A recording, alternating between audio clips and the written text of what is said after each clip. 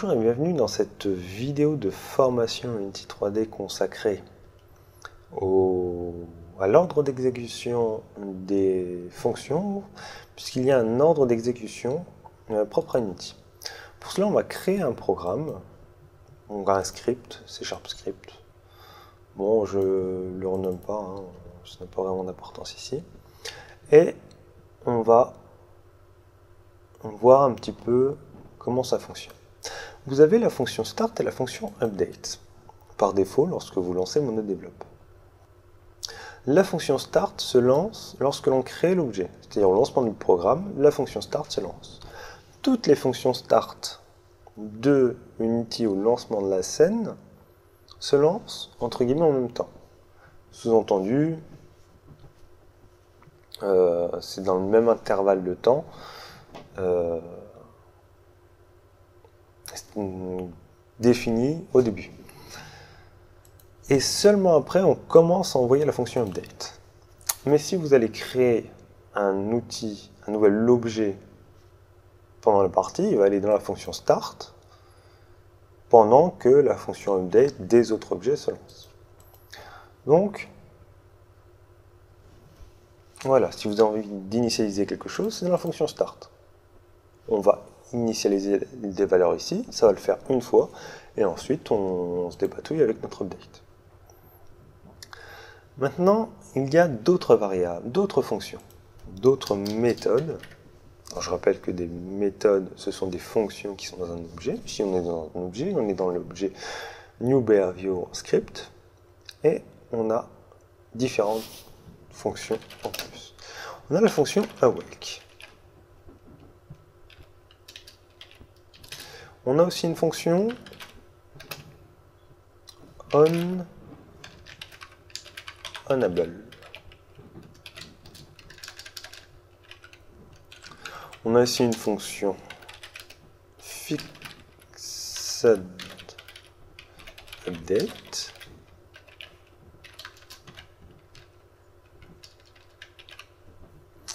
Et on a une fonction.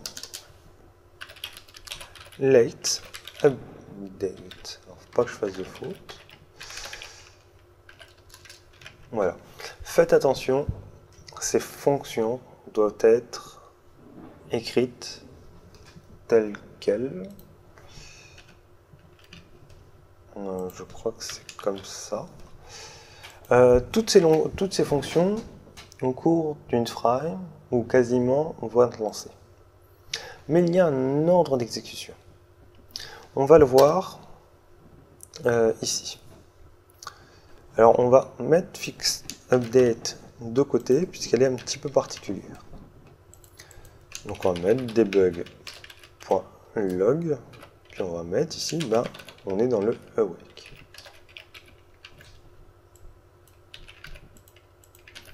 Alors je copie ma fonction partout. ici on est dans le on enable, ici on est dans la start.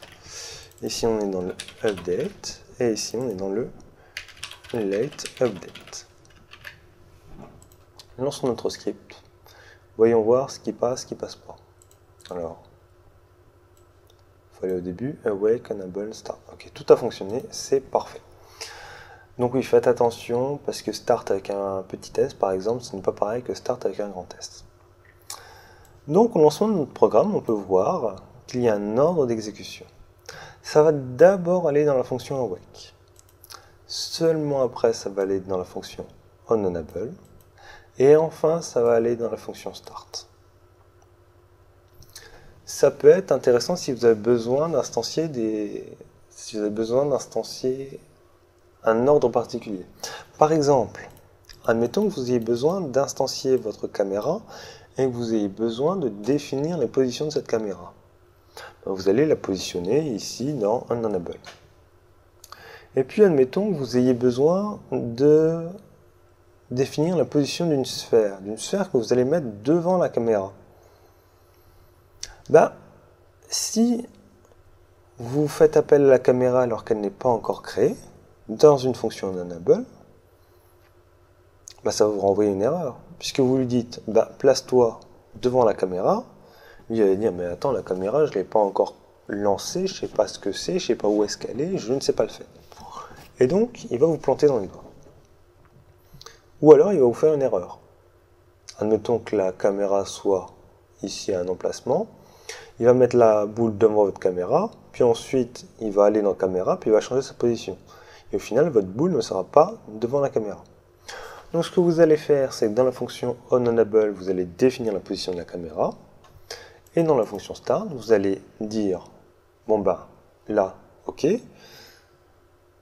La fonction onEnable a été exécutée, je vais pouvoir positionner la boule en fonction de la caméra, et elle sera bien devant la caméra au lancement de votre jeu. C'est très important de faire attention à cet ordre d'exécution-là. On peut voir ensuite que update et late update euh, sont là une fois sur deux. Alors, faisons le test avec deux fois le même objet, enfin deux fois le script. Donc vous créez un objet, n'importe lequel, notre cube fétiche, et vous lancez le programme. Là, qu'est-ce qui se passe? Ben, Vous pouvez voir déjà que awake et onOnable ont un fonctionnement particulier. C'est-à-dire qu'il va d'abord faire awake d'un script, puis il va faire la fonction onNable de ce script, puis il va passer au script suivant. Sous-entendu, faites attention. Ne mettez pas une position de la caméra dans un script et la position des boules ici dans un autre script, puisque ça ne va pas fonctionner. Mais on remarque une chose. Awake et onOnable se lancent donc l'un après l'autre, mais surtout qu'il n'y a que ces deux fonctions-là. Sous-entendu que start se lance seulement après, même si c'est dans des programmes différents.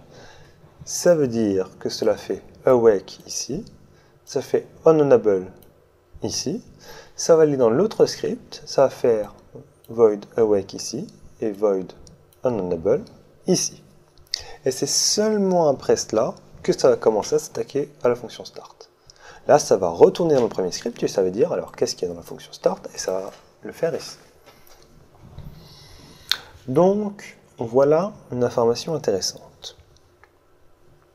C'est une fois que les awake et onOnable, alors je parle au lancement de la scène, une fois que awake et onOnable c'est fait, que l'on va lancer les fonctions start. Là, on envoie les fonctions start. Deuxième détail important, update. Mais on peut voir que les updates se lancent après la fonction start. C'est normal, hein, le lancement de la partie, on lance le start, et seulement après, ben, on fait le update qui va gérer notre programme frame par frame. Et là, on voit que les updates se lancent ensemble. Sous-entendu, ben, que le comment? Que ça va aller dans tous les scripts pour le update et que si on a initialisé quelque chose dans le start, on peut l'utiliser dans l'update, il n'y a pas de souci. Et la fonction late update. Cette fonction, elle va se lancer après que tous les updates de la scène aient fini. C'est seulement après qu'on va faire la fonction late update. C'est utile si par exemple vous voulez modifier l'emplacement de votre caméra en fonction d'un objet. Par exemple, si vous déplacez cet objet dans un update, bah, s'il gère la position de la caméra dans un update, dans l'update de la caméra donc, il va fixer votre cube, puis dans le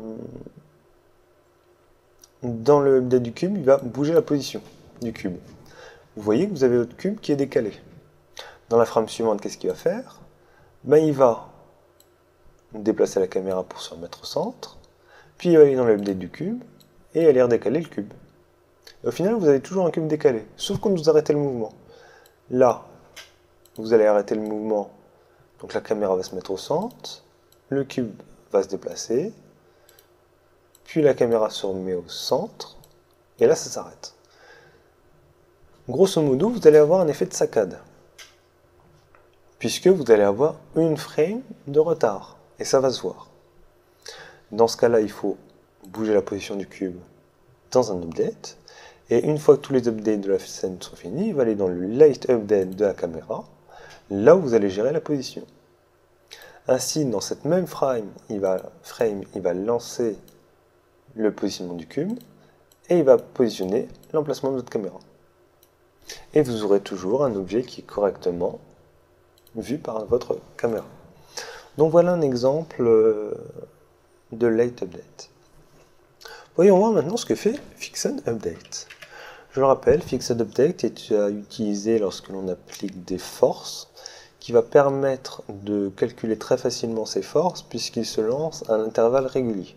Par défaut, il est de 0,02 secondes. Toutes les 0,02 secondes, il se lance. Faisons un test. Lançons-le. Alors, est-ce qu'on voit des fixed updates? Non, puisque je n'ai pas mis de debug log à l'intérieur. Fixed update. On va aussi désactiver un script, un des deux scripts, pour qu'on voie, pour que ce soit plus clair dans la scène. Donc je lance. Et on ouvre. On va pause. Et voyons voir. On a un update, un let update, un fixed, un update, let update, fixed, update, let update, update, on a late update, puis un fixed, puis update, late, fixed, update, late, fixed, update, late, fix, euh, update, late, fix, update, late, et pas fixe.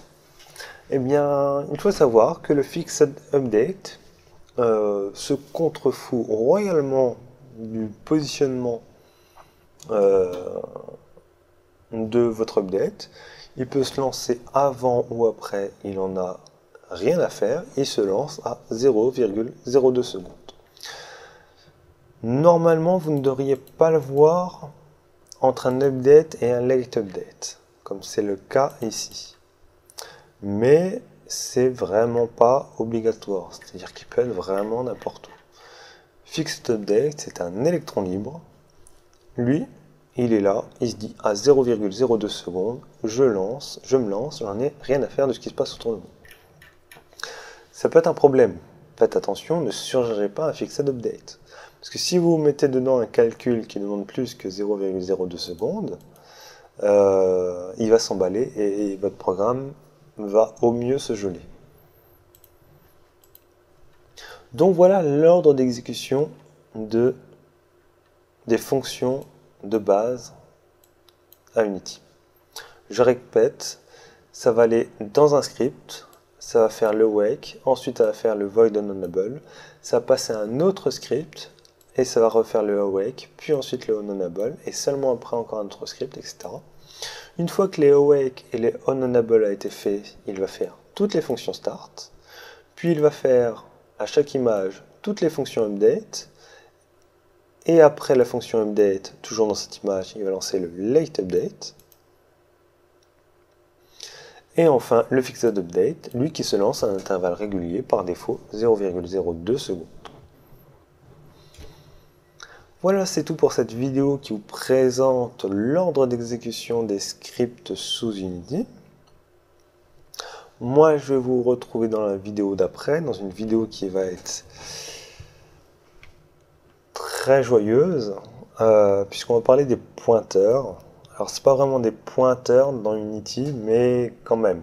C'est pas une étoile, mais grosso modo, c'est passer quelque chose par référence, et grosso modo, ça revient au même il est possible que vous ayez un petit peu de problème avec cette notion de pointeur, mais ne vous découragez pas tout de suite et cliquez plutôt sur la vidéo suivante. A tout de suite